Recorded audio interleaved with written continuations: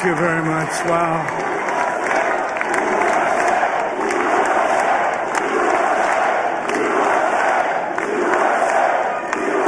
Well, I want to thank you all very much. This is great. These are our friends. We have thousands of friends on this incredible movement. This was a movement like nobody's ever seen before. And frankly, this was, I believe, the greatest political movement of all time. There's never been anything like this in this country and maybe beyond. And now it's going to reach a new level of importance because we're going to help our country heal. We're going to help our country heal. We have a country that needs help, and it needs help very badly. We're going to fix our borders. We're going to fix everything about our country. And we made history for a reason tonight, and the reason is going to be just that. We overcame obstacles that nobody thought possible, and it is now clear that we've achieved the most incredible political thing. Look what happened. Is this crazy?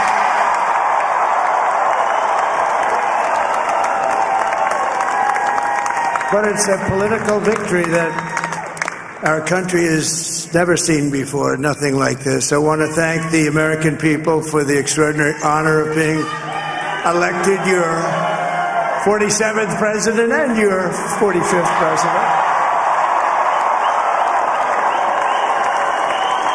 And to every citizen, I will fight for you, for your family, and your future.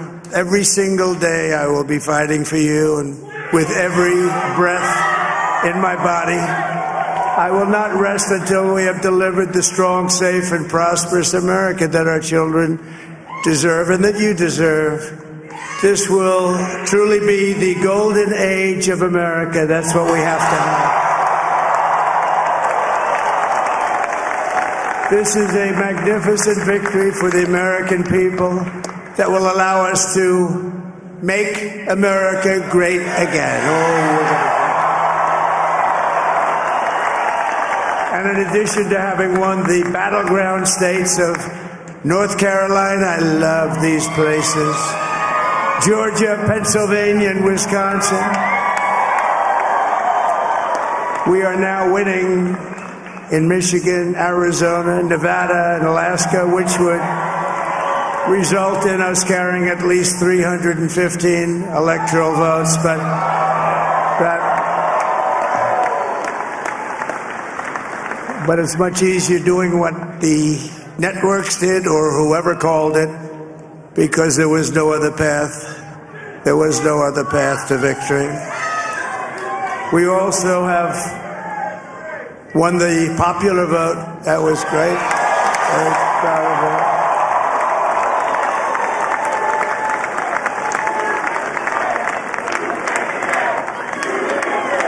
Thank you.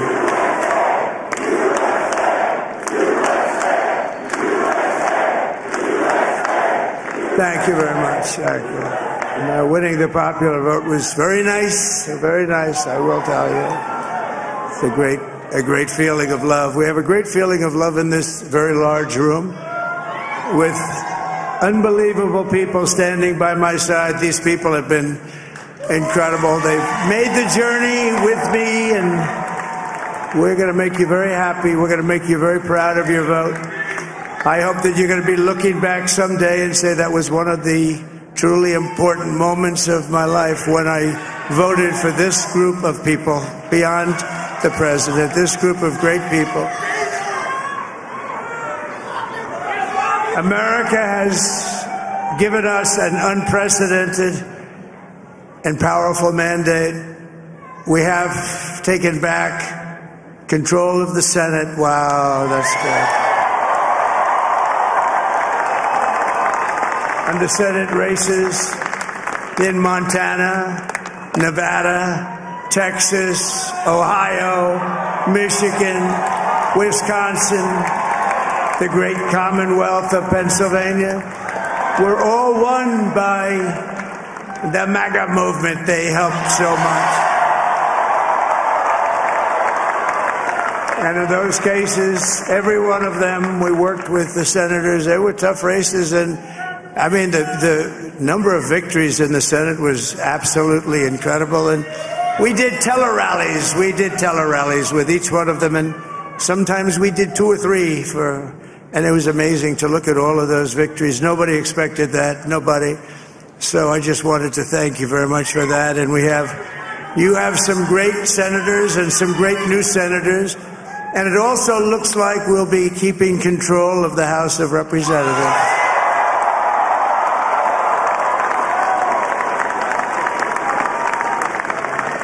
And I want to thank Mike Johnson. I think he's doing a terrific job. Terrific job. I want to also thank my beautiful wife, Melania, First Lady.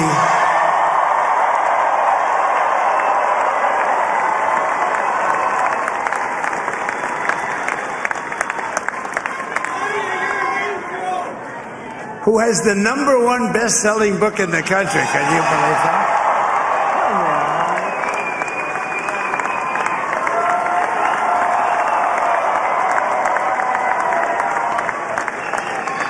Oh, oh, no, she's done a great job. Works very hard. Works very hard to help people. So I just want to thank her. But I want to thank my whole family, my amazing children, and they are amazing children. Now, we all think our children. Everybody here thinks their children are amazing, but that's a good thing when you think they are. But Don, Eric, Ivanka, Tiffany, Barron, Laura, Jared, Kimberly, Michael, thank you all. What a help. What a great.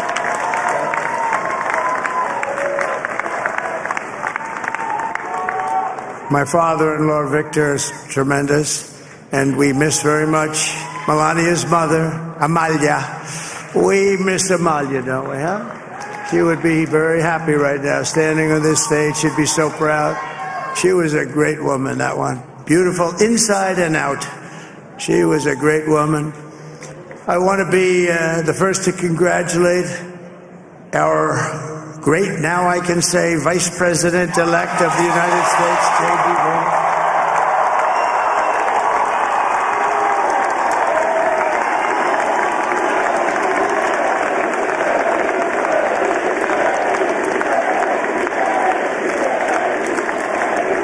And is absolutely remarkable and beautiful.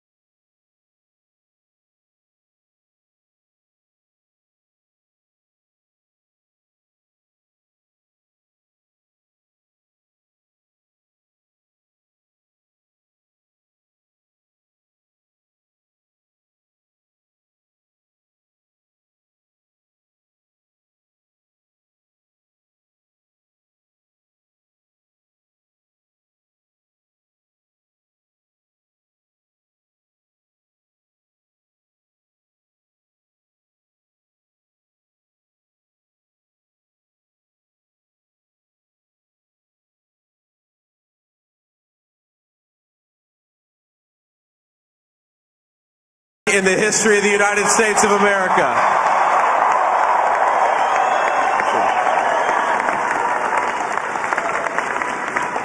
And under President Trump's leadership, we're never going to stop fighting for you, for your dreams, for the future of your children. And after the greatest political comeback in American history, we're going to lead the greatest economic comeback in American history under Donald Trump's leadership.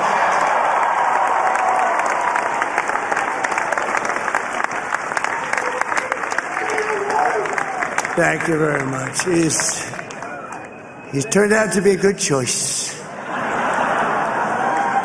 I took a little heat at the beginning, but he was, uh, I knew, I knew the brain was a good one, about as good as it gets. And we love the family, and we're going to have a great four years, and we're going to turn our country around, make it something very special. It lost that, lost that little it lost that little uh, that little thing called special, we have to make it so. We're going to make this so great. It's going to, it's the greatest country and potentially the greatest country in the world by far. And right now, we're going to just work very hard to get all of that back.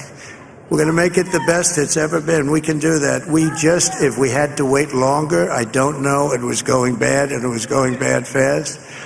We're going to have to seal up those borders and we're going to have to let people come into our country. We want people to come back in, but we have to we have to let them come back in, but they have to come in legally. They have to come in legally. Let me also express my tremendous appreciation for Susie and Chris, the job you did. Susie, come, Susie, come here. Come here, Susie. Chris, come here, Chris. Susie likes to stay sort of in the back, let me tell you. The ice maiden. We call her the ice maiden. What, oh, come here, Chris. Come here, Chris. Susie likes to stay in the background. She's not in the background. Come here, something. This wasn't expected, but I just want to thank, obviously, President Trump for this journey. It was a great one, um, and he's a hell of a candidate, and he's going to be a hell of a great 47th president. And this team that we had, the best team, and of course, even my boss, Susie Wiles, the best. Thank you. Thank you, and, and thank you, Susie. Look at this. She's. I've never seen her be shot before. Susie. Uh, they've been, they're great. Everybody up here is great. Everybody up here is very special. But uh, the Trump, yeah, who did you say? Oh, let me tell you, we have a new star. A star is born, Elon. Now he is. Now he's an amazing guy. We were sitting together tonight. You know, he spent two weeks in Philadelphia and different parts of Pennsylvania campaigning. You know, he sent the rocket up two weeks ago, and I saw that rocket, and I saw it coming down. I saw it. It was, when it left, it was beautiful, shiny white. When it came down, it didn't look so pretty. It was going 10,000 miles an hour and it was burning like hell. I said, What happened to your paint job? He said, We've never made a paint that could withstand that kind of heat. And, uh, but I saw it come down and turn around. And it was, you know, it's like 22 stories tall, by the way. It looks a little smaller than that, but it's big. And it came down and down, and you saw that fire burning. And, and I'm saying, only Elon can do this. It must be an Elon. And I tell the story. I told it last night. I had a man on the phone. I had the screen muted, no sound. I was talking to a very important man, happens to be here. And a very important guy, one of the most important people. And I would say the country, actually. But, you know, I was president, and now it looks like I was going to be maybe president again, so I figured I could ask him to hold. So I asked him to hold. And because, especially because you're going to be president again, they hold. So I took the phone down and I'm looking at the screen. I'm seeing this crazy thing that's going around and coming down. It looks like it's going to crash into the gantry. And I said, Oh no. And I said, Do me a favor, do you mind holding for a couple of minutes? I want to see this. I thought it was a space age movie or something. I put the phone down. Bad part, I didn't pick it up for 45 minutes and he was holding.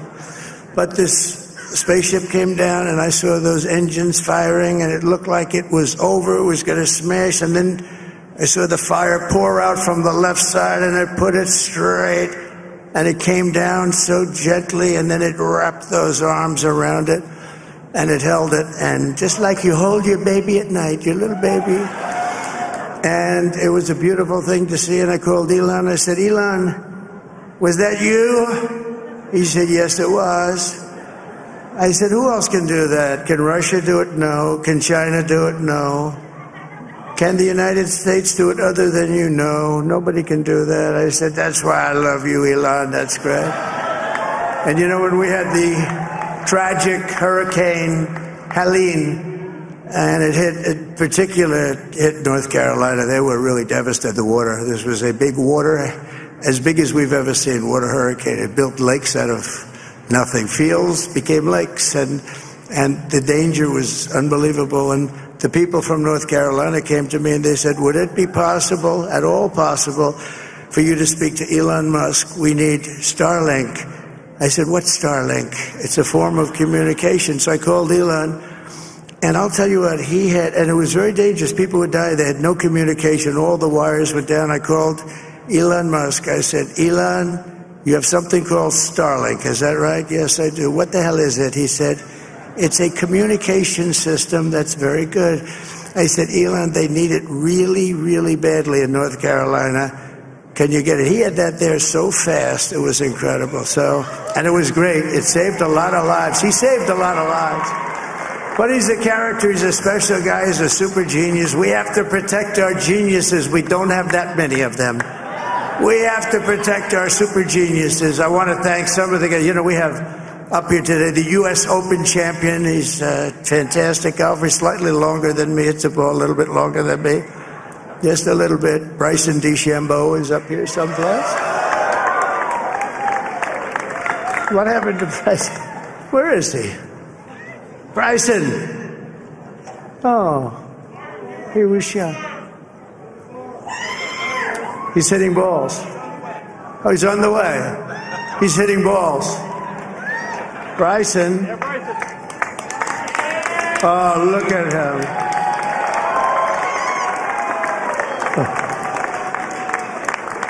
He had a great, he's got a great career going.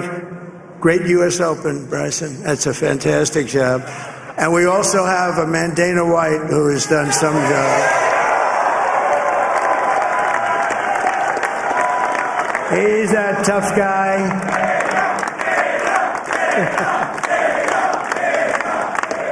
So Dana started UFC and uh, came to me. Do you mind if I use your? Nobody wanted to give him a rinse because they said it's a rough sport, a little rough.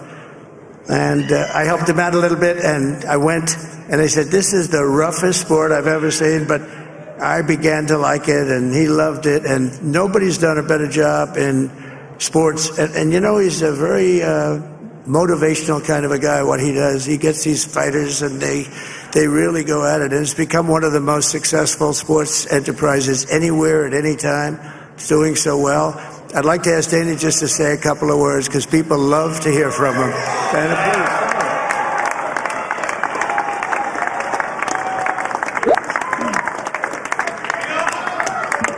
Nobody deserves this more than him, and nobody deserves this more than his family does. This is what happens when the machine comes after you. What you've seen over the last several years, this is what it looks like. Couldn't stop him. He keeps going forward. He doesn't quit. He's the most resilient, hardworking man I've ever met in my life. His family are incredible people. This is karma, ladies and gentlemen. He deserves this. They deserve it as a family. I, I, I, want to thank some people real quick. I want to thank the Nelk boys, Adin Ross, um, uh, uh, Theo Von, Bussin' with the boys, and last but not least, the mighty and powerful Joe Rogan. And thank you, America. Thank you. Have a good night.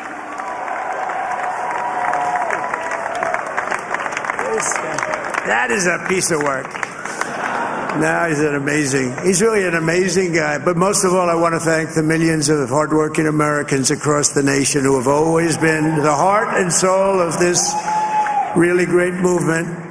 We've been through so much together, and today you showed up in record numbers to deliver a victory like really, I probably like no other. This was something, this was something special, and we're gonna, we're gonna pay you back. We're gonna do the best job. We're gonna, we're gonna turn it around. It's got to be turned around. It's got to be turned around fast, and we're gonna turn it around. We're gonna do it in every way, with so many ways, but we're gonna do it in every way. This will forever be remembered as the day the American people regained control of their country.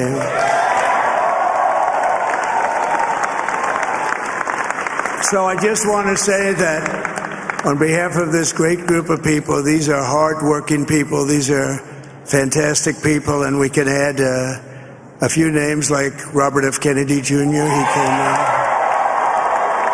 And he's going to help Make America healthy again.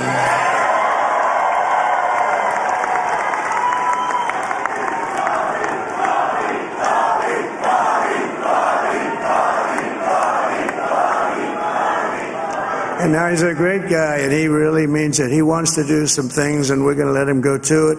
I just said, but Bobby, leave the oil to me.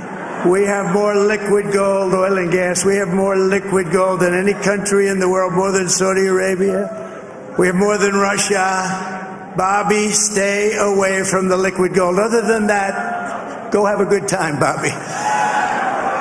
We're going to be paying down debt. We're going to be reducing taxes. We have, we can do things that nobody else can do. Nobody else is going to be able to do it. China doesn't have what we have. Nobody has what we have. But we have the greatest people also. Maybe that's the most important thing. This campaign, this campaign has been so historic in so many ways. We've built the biggest, the broadest, the most unified coalition They've never seen anything like it in all of American history. They've never seen any young and old, men and women, rural and urban. And we had them all helping us tonight. When you think, I mean, I was looking at it, I was watching it. They had some great analysis of the people that voted for us. Nobody's ever seen anything like that. They came from, they came from all quarters, union, non-union, African American, Hispanic American, Asian American, Arab American, Muslim American. We had everybody, and it was beautiful. It was a historic realignment, uniting citizens of all backgrounds around a common core of common sense. You know, we're the party of common sense. We want to have borders. We want to have security. We want to have things be good, safe. We want great education. We want a strong and powerful military, and ideally we don't have to use it. You know, we had no wars. Four years we had no wars, except we defeated ISIS. We defeated ISIS in record time, and, but we had no wars. They said, he will start a war. I'm not going to start a war. I'm going to stop wars. But this is also a massive victory for democracy and for freedom. Together, we're going to unlock America's glorious destiny. We're going to achieve the most incredible future for our people. Yesterday, as I stood at my last stop on the campaign trail, I'll never be doing a rally again. Can you believe it? I think we've done 900 rallies approximately from the. Can you imagine? 900, 901, something, a lot of rallies. And it was sad. Everybody was sad. Many people, I said, this is our last rally. But now we're going on to something that's far more important because the rallies were used for us to put, be put in this position where we can really help our country. That's what we're going to do. We're going to make our country better than it ever has been. And I said that many people have told me that God spared my life for a reason.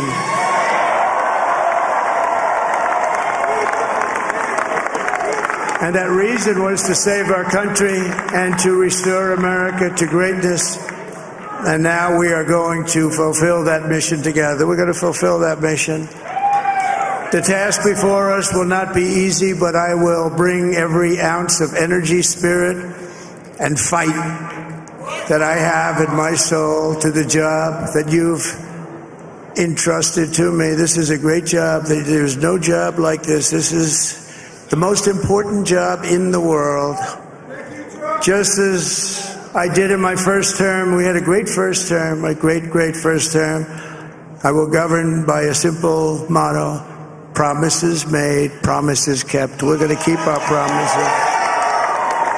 Nothing will stop me from keeping my word to you, the people. We will make America safe, strong, prosperous, powerful, and free again. And I'm asking every citizen all across our land to join me in this noble and righteous endeavor. That's what it is. It's time to put the divisions of the past four years behind us. It's time to unite. And we're going to try. We're going to try. We have to try. And it's going to happen. Success will bring us together. I've seen that. I've seen that. I saw that in the first term when we became more and more successful people started coming together. Success is going to bring us together, and we are going to start by all putting America first. We have to put our country first for at least a period of time. We have to fix it. Because together we can truly make America great again for all Americans. So I want to just tell you what a great honor this is. I want to thank you. I will not let you down. America's future will be bigger, better, bolder, richer, safer, and stronger than it has ever been before. God bless you and God bless America. Thank you very much. Thank you. Thank you very much.